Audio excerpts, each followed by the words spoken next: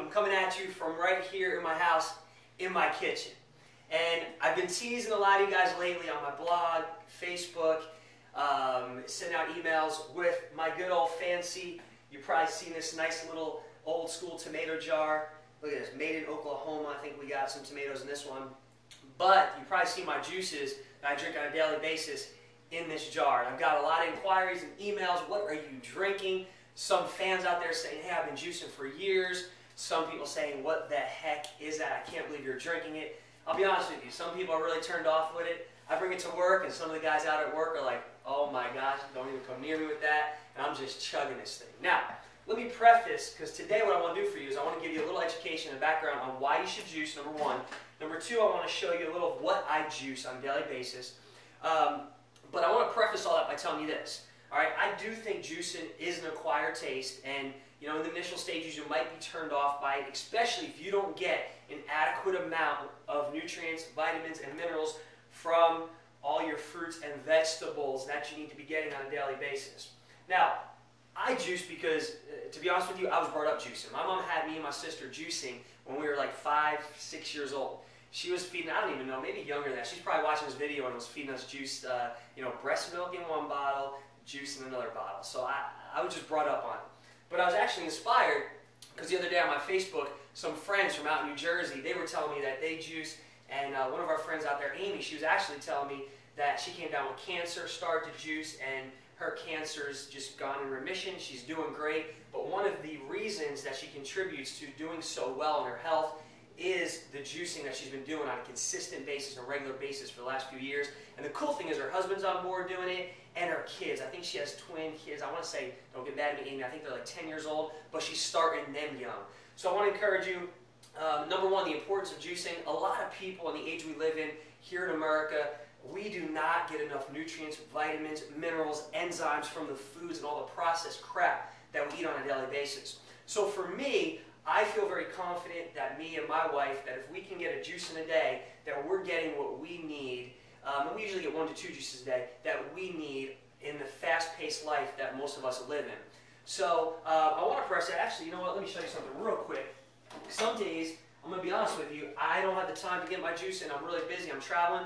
So I can show you right here is a powder form of Barley Max, and this is about seven to eight um, of the servings of fruits and vegetables that you should be getting on a daily basis. And all this is just a powder. This one has extra um, fruit added to it. This is just straight Barley Max.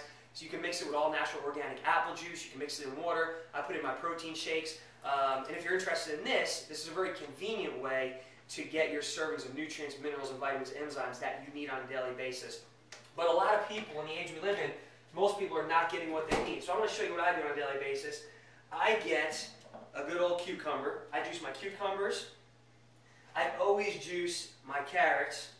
Okay, and I don't even measure. I don't even know how many I use. I just juice until I have enough for right then, immediately when I'm going to drink right after. And then I store some in these glass containers. You don't want to keep your juice, and there's a lot of people out there that believe in keeping their juice for long periods of time. You lose a lot of the enzymes, you lose a, not a lot of the nutrients. Now listen, I'm not an expert on all the juicing, I'm not some professional on that, but my mom's very educated, and since we were very young, we've been educated on that. 12 hours max. If you keep it in glass jars like this, it will last longer in the freezer.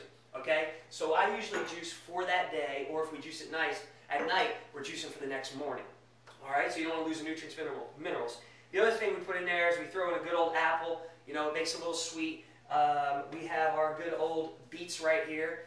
I like the beets, and they're very nutrient for you. Right here, you can see I have a couple pieces of ginger that we throw in there. What else do we have? Good old celery probably goes in every juice we use. Celery. And then we have our awesome green leafy kale, which we put in. And sometimes I just throw the kale right in my protein shakes.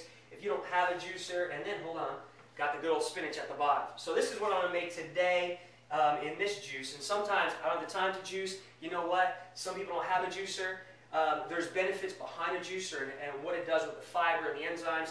And I'm using the old school juicer that I pulled out my old school Gary Null juicer. Okay, uh, there are juicers that are better than others. All right, and I don't have time to go into all that. But one I highly recommend is the Champion Juicer. We've been using that for years, and you're going to get the most benefit out of that. It's Champion Juicer. by Green Star. If you're interested in that, contact me directly. I can get you uh, even possibly a discount on that. Um, but you, typically, I just have my nice little handy cup here that the juice goes into and a strainer because my wife doesn't like all the pulp and all that stuff. I don't mind it. All right, so I'm gonna throw you. I'm just gonna give you a quick little demo how I juice, and I'm gonna talk to you a little more about how you can get started. Just nice and easy, nothing fancy. A lot of people think juice is real complicated. Just put your stuff in, nice and easy, and push it down nice and easy. Now, I'm not gonna sit here all day and juice for you. You're probably gonna get bored. But I will post when I'm done a good old, a good old picture with this video so you can see what the juice turns out like. Little beet here.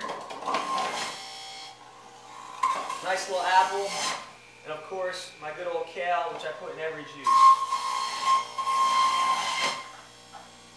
Good. Now you can see I'm just getting started, but I want to show you how simple it is. The hardest part about all this is I'm telling you, clean the juicer. And most juicers are very simple to clean, but the hardest part is the cleaning up. But I want to tell you today, and I get a lot of questions and inquiries about organic versus non-organic. And I'm not, I don't want to elaborate on too much in this video, but I want to tell you, for me personally, my belief on that is something that has a skin on it, I'm not real, real picky on, all right? So like oranges, grapefruits, um, cucumber, if I'm skinning it off, if I'm peeling it, I'm not real picky on making all organic. My celery, all organic. My spinach, all organic. My apples, all organic if you're leaving the skin on them. Uh, what else? Kale, all, all organic. Um, carrots, all organic. But again, my fruits and veggies. If it's something like a banana that I'm going to peel and throw in a protein shake or eat, I'm not real picky about making all organic. I think uh, some of it's overrated. Um, there's a lot of things. That's a whole other video, but I get a lot of questions on that. So I want to tell you, one of the books, I want to give you something today to show you what you can get started on. One of the books that got me inspired, besides my mom, of course, pushing us at a young age for us, and the ultimate health benefits. If you go and Google the benefits of juicing, a great uh, resource and website, Hallelujah, Hallelujah Acres. Um, they do a lot of juicing and they, they claim to help a lot of people with diseases and different uh, health issues. But this is one of the books that really helped me kind of, uh, my foundation education um, and what I believe in. It's called the 80-10-10 diet. It talks about 80% of your diet on a daily basis, your dietary needs, should come from raw whole foods. Awesome book. Balancing Your Health, Your Weight, and Your Life, Dr. Douglas N. Graham. I encourage you to pick it up if you're interested in juicing. Again, it's not real complicated.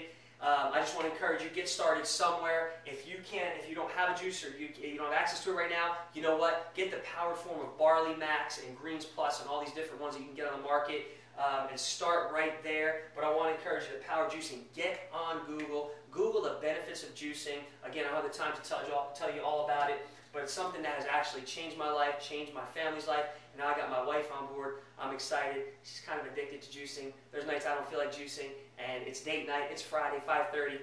I want to go out, and she wants a juice. No, don't don't hit her up. I'm just joking there. She'd rather me take her out on candlelight dinner. But anyway, this is Coach JC coming at you again. Get your life to the next level by starting to juice. I love you guys. I look forward to hearing from you. Hit me up if you have any questions, if you want to talk about the juicers I use, if you want to talk about the powder forms, or you need more information on that book. I'll post that all below. Love you guys. Coach JC here, CoachJC.com. Talk.